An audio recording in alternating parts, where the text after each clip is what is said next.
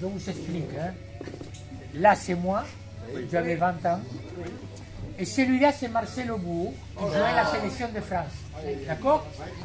Vous voyez, je suis en train de changer les maillots. Ça, c'était décembre, décembre 1970. Juillet 73, 73, j'arrive à Reims. Qu'est-ce qui se passe?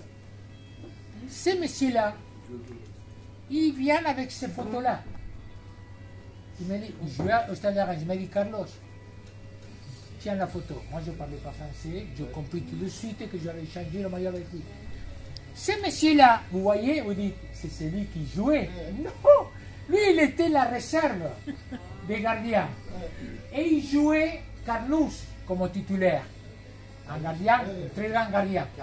Et lui, il était réserve. Vous savez qu'est-ce qu'il faisait, lui, sur le banc de touche? Il se mettait 4 et 5 maillots sur lui. Il rentrait à la fin du match pour changer les, les maillots avec les autres.